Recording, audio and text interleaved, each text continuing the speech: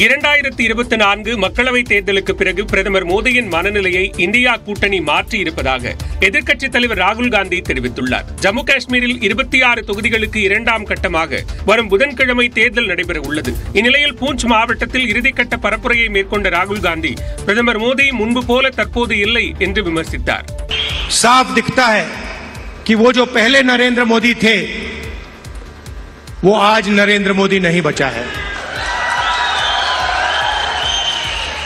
और आज जो भी विकल्प विपक्ष करवाना चाहता है,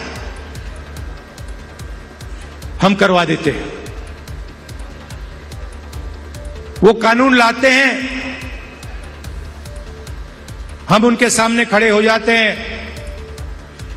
वो कानून पास नहीं करते हैं, नया कानून लाते हैं। தொடர்ந்து பேசிய அவர் ஜம்மு காஷ்மீரின் மன்னராக துணைநிலை ஆளுநர் நியமிக்கப்பட்டிருப்பதாக விமர்சித்தார். ஜம்மு காஷ்மீர் மாநிலத்தை யூனியன் பிரதேசமாக மாற்றியதால் மக்களின் ஜனநாயக உரிமை பறிக்கப்பட்டதாக ராகுல் காந்தி குற்றம் சாட்டினார்.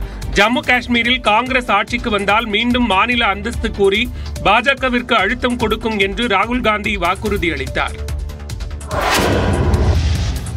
இந்தியா கூட்டணி உருவாக காரணமாக இருந்தவர் சீதாராம் யெச்சூரி என்று முதலமைச்சர் மு ஸ்டாலின் புகழாரம் சூட்டினார். மார்க்சிஸ்ட் கம்யூனிஸ்ட் கட்சியின் பொதுச் செயலாளர் சீதாராம் யெச்சூரி படத்திறப்பு நினைவேந்த நிகழ்ச்சி சென்னை காமராஜர் அரங்கத்தில் நடைபெற்றது. இதில் முதலமைச்சர் மு ஸ்டாலின் மார்க்சிஸ்ட் தலைமைக்குழு உறுப்பினர் அசோக் தேவலே கே பாலகிருஷ்ணன் இந்திய கம்யூனிஸ்ட் கட்சியின் மாநில செயலாளர் முத்தரசன் தமிழ்நாடு காங்கிரஸ் கமிட்டியின் தலைவர் செல்வ பெருந்தகை மதிமுக பொதுச் செயலாளர் வைகோ இந்திய யூனியன் முஸ்லீம் லீக் தலைவர் காதர் மொய்தீன் திராவிடர் கழக தலைவர் கி வீரமணி உள்ளிட்டோர் கலந்து கொண்டனர். நிகழ்ச்சியில் உரையாற்றிய முதலமைச்சர் மு ஸ்டாலின் சீதாராம் யெச்சூரியின் நகைச்சுவை உணர்வு ரசிக்கக்கூடிய வகையில் இருக்கும் என்றார். தொடர் யெச்சூரி அவர்கள் மார்க்சிஸ்ட் கம்யூனிஸ்டுக்கு மட்டும் சொந்தமல்ல எங்களுக்கும் சொந்தம் அனைவருக்கும் சொந்தம்.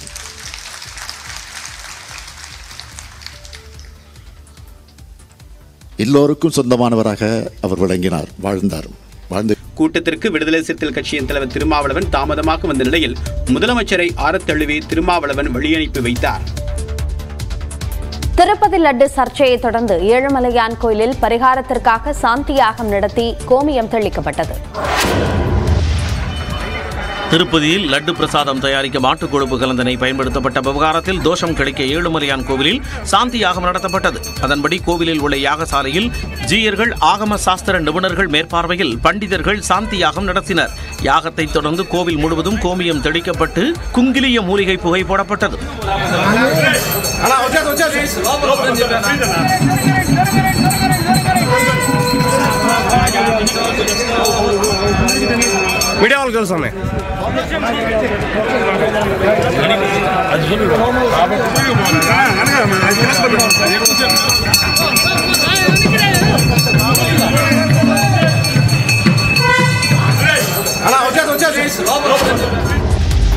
திருப்பதி ஏழுமலையான் கோவில் லட்டுவில் மாட்டுக் கொழுப்பு சேர்க்கப்பட்ட விவகாரத்தில் திருமலை தேவஸ்தான கோரிக்கை ஏற்று வீடுகளில் பெண்கள் விளக்கேற்றி வழிபட்டனர். நெல்லை வண்ணாரப்பேட்டை பகுதியில் உள்ள வீடுகளில் பெண்கள் விளக்கேற்றி ஓம் நமோ நாராயண என்ற மந்திரத்தை உச்சரித்து பிரார்த்தனை செய்தனர்.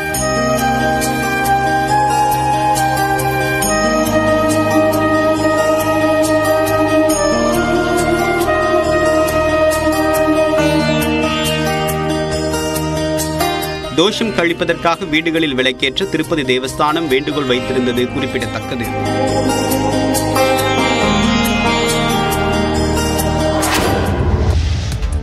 திருமலை லட்டில் மாட்டுக் கொழுப்பு கலந்த நெய் பயன்படுத்தப்பட்டது தொடர்பான சர்ச்சை அடங்குவதற்குள் குட்கா பாக்கெட் இருந்த வீடியோ வெளியாகி அதிர்ச்சியை ஏற்படுத்தியுள்ளது. ஆந்திர மாநிலம் கம்பம் மாவட்டம் கொல்லக்கூடையம் கிராமத்தைச் சேர்ந்த பத்மா என்பவர் கடந்த பத்தொன்பதாம் தேதி திருப்பதி கோவிலில் ஏழுமலையானை வழிபட்டவின் லட்டு வாங்கிச் சென்றார். இந்நிலையில் அவர் வாங்கிச் சென்ற லட்டு ஒன்றில் குட்கா பாக்கெட் இருந்ததாக அவருடைய குடும்பத்தினர் வீடியோ ஒன்றை வெளியிட்டுள்ளனர்.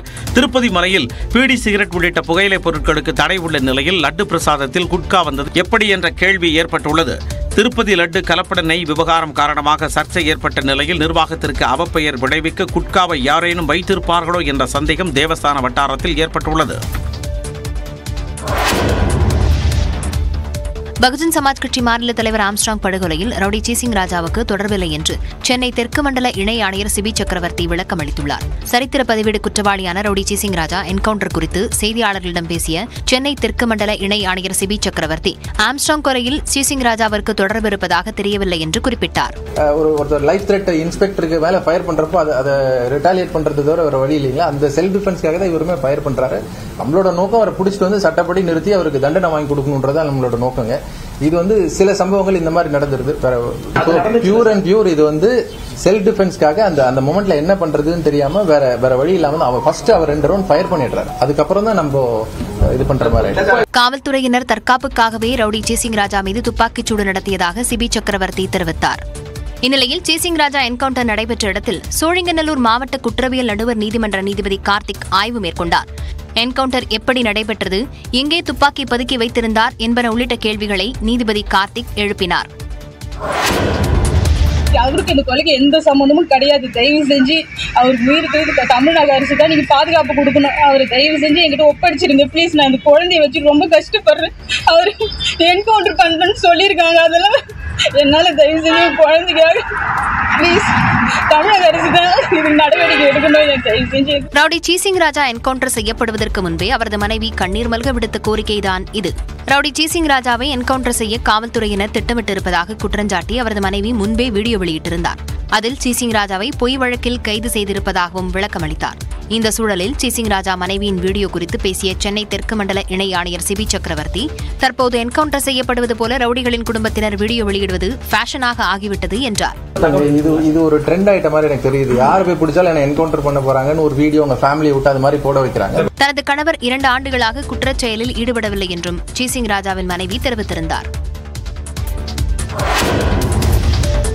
திருச்சியில் ரவுடி ஜம்புவை விசாரணைக்கு அழைத்து சென்றபோது அவர் காவலர்களை தாக்கிவிட்டு தப்பி ஓட முயன்றதால் துப்பாக்கியால் சுட்டு பிடிக்கப்பட்டார்.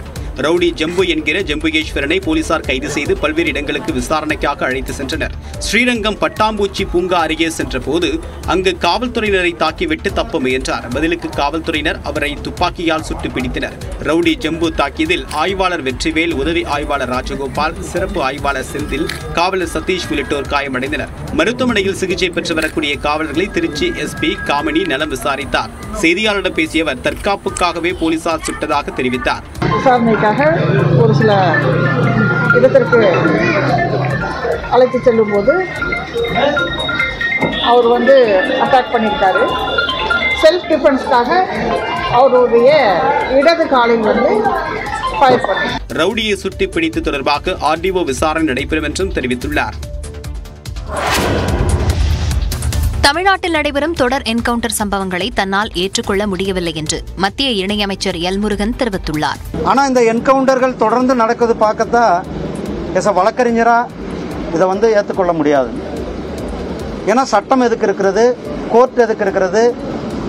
நீங்கள் அவர்கள் குற்றவாளிகள் என்று முடிவு செய்ய வேண்டியது கோர்ட் தமிழ்நாட்டில் சமீப காலமாக என்கவுண்டர்கள் அதிகரித்திருப்பது நல்லதல்ல என மார்க்சிஸ்ட் மாநில செயலாளர் கே. பாலகிருஷ்ணன் தெரிவித்துள்ளார். நீதிபதி தானே அவருக்கு தண்டனை கொடுக்கணும். அப்பதானே நீதிமன்றம் இருக்கு. அதை விட்டு ஒரே நாளில் நாங்கள் வந்து என்கவுண்டரில் சுட்டு பண்ண எல்லா வழக்கும் முடிஞ்சு போச்சு அப்போ. எனவே இந்த மாதிரி என்கவுண்டர் சாவுகள் அதி நடவடிக்கைகள் அதிகரித்திருப்பது என்பது தமிழ்நாட்டுக்கு நல்லதல்ல அது ஒரு நல்ல போக்கு அல்ல. சேசிங் ராஜா என்கவுண்டர் சட்டத்திற்கு புறம்பாக நடத்தப்பட்ட கொலை என்று மனித உரிமை செயற்பாட்டாளரும் மதுரை மக்கள் கண்காணிப்பக இயக்குநருமான ஹென்றி திபென் விமர்சித்துள்ளார். அரெஸ்ட் பண்ண உடனே செயின் கூட போடுறதுக்கு உங்களுக்கு தயார் நிலையில் நீங்கள் இல்லைட்டு ஓடி போயிட்டான். அவன் ஒரு நாட்டுக்கு வெடி நாட்டு வெடிகுண்டோடு அந்த க- அந்த நீங்கள் பிடிச்ச இடத்துல அவர் வந்தாரோ? அவர் பாக்கெட்டில் வெடிகுண்டு வச்சுக்கிட்டே வந்தாரோ? இந்த கதையெல்லாம் ஏன் சொல்கிறீங்க என்கவுண்டர்கள் என்பது மனித உரிமை மீறல் என்று ஹென்ரி திபென் தெரிவித்தார்.